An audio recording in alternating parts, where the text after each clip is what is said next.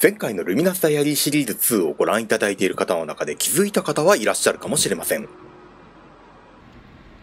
アルマのシャボン玉の尻尾に注目。そう。膜の映り込みがおかしいんですね。実は言うと、今の俺も映り込みがおかしい状態です。これを Unity ではリフレクションというのですが、背景が映り込むマテリアルに対してシーンの環境を映す映像処理みたいなもので、この収録では申し訳程度に森に囲まれた広場を映しているんですね。この映り込みを調整する方法の一つはスカイボックス。つまり空を作るのですが、この空に現実の写真を使えばまさにアバターが実写の位置にいる演出がはかどるわけです。そこで俺は用意しました。この全天球カメラをよ。深セン嵐ビジョン社の全天球カメラブランドインスタ360の最新作 1X2。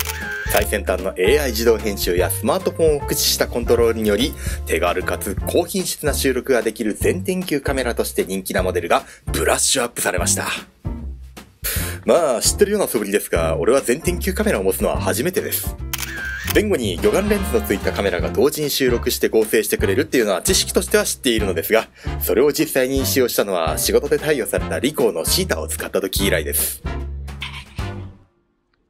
ああ、思ったようにしっかりしてんな。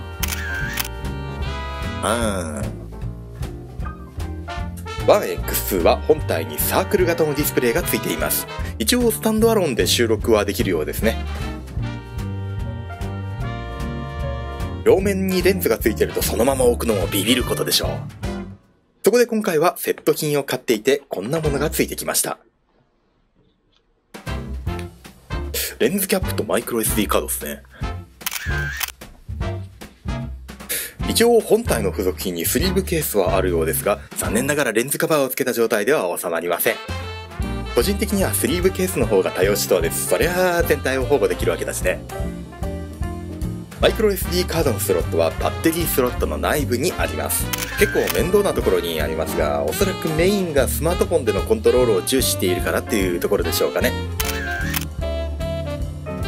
じゃあ、電源を、うん、ここでいいか。おーし、動いた。ん？あれなんか勝手に収録スタートしたんだけど。え？どうやって止めんだろうこれ、このボタン電源じゃないんだ。え？え？え、どうやって止めんの？いや、まだアクティベートすらしてないんだけどさ。ええ？ちょっと待って、ちょっと待って。おい、おい、止まれよ。止まれよ。おい、止まれよ。おい。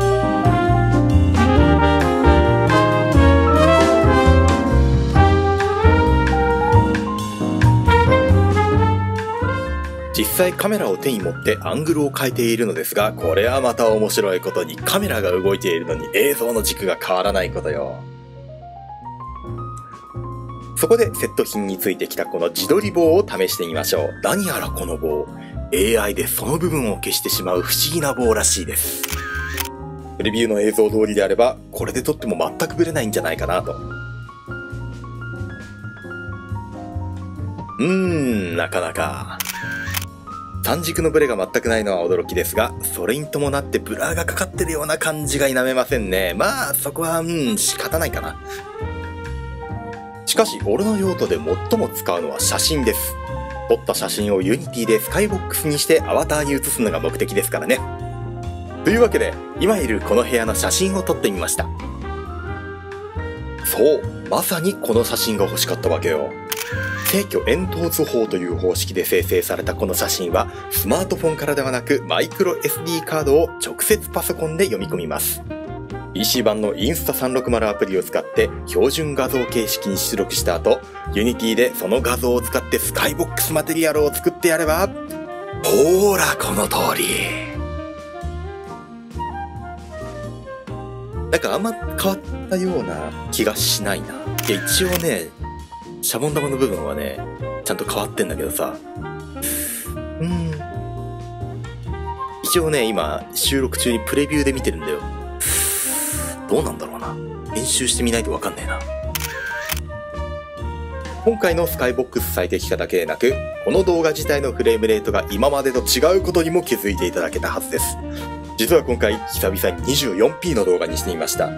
それだけでなく、俺のグリーンバックの映像も 4K に拡張して最大限の編集体制を作ることに成功しています。